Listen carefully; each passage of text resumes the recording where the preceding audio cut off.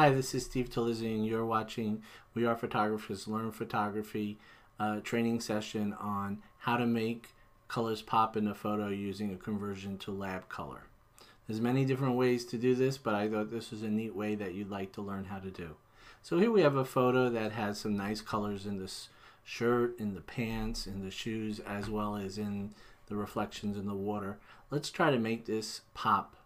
So the first thing we're going to do is come over to to the Photoshop and then duplicate the layer.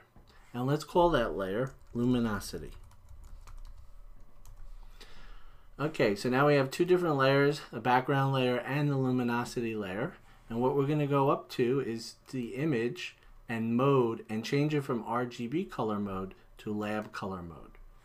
Now you're going to get this dialog box that says, do you want to flatten the image? Do not flatten the image because we want to keep multiple layers when we're done. So now we're in RGB, we've moved from RGB mode to lab color mode. I'm now going to do an adjustment on this layer, but I'm not going to create an adjustment layer because adjustment layers will not transfer over when we go back to the RGB mode. So we're just going to do an adjustment on the layer itself and we're going to do a curves adjustment.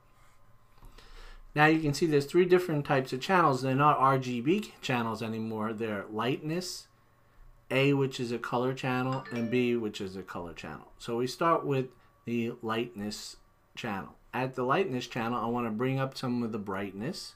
So if I bring the, the curve up, you can see I can lighten up this uh, photo really nicely. Now the real trick in this comes from the other two channels. On the A channel, what I'm going to do is I'm going to take this rightmost point on the curve, not go up and down, but just bring it in horizontally about 25%. Now that looks pretty ugly, but don't worry, we'll, we'll, we'll, we'll take care of that uh, later. What you're going to do now is then take the left and pull the left in about 25%, the same amount. Now we go to the A channel to the B channel and we do the exact same thing. I'm going to pull the right to the left about 25% and I'm going to pull the left to the right about the same 25%. Oops, I apologize there.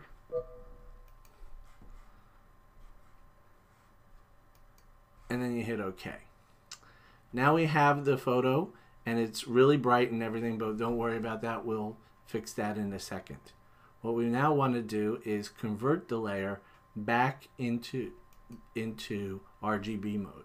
So when you hit RGB color, it asks you, do you want to flatten? Do not flatten. And then it'll convert back into the RGB mode. Now you want to take that luminosity layer and we're going to duplicate the luminosity layer. And we're going to call that color. Now we have two different layers, the color layer and the luminosity layer. We're going to change the blending mode. So we'll put the blending mode of color to color and click on the luminosity layer and change its blending mode to luminosity.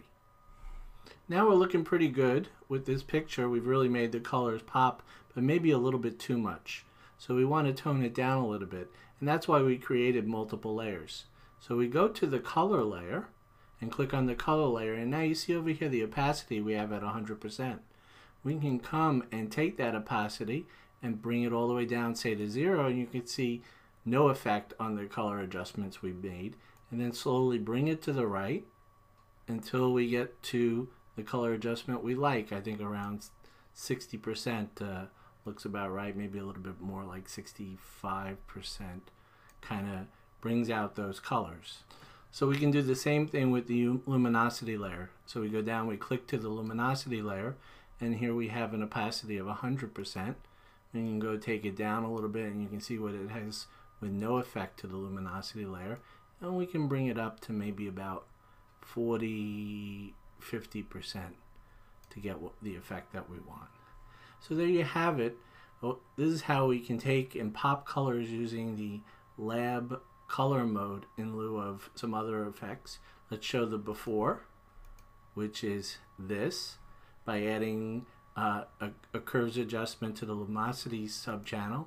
We can add some uh, brightness, and by adding adjustments to the A and B channel, we can add some pretty interesting color into your photo. So if you really want to make your color photos pop, here's a way to do it using the conversion to lab mode. Hope you enjoyed the screencast.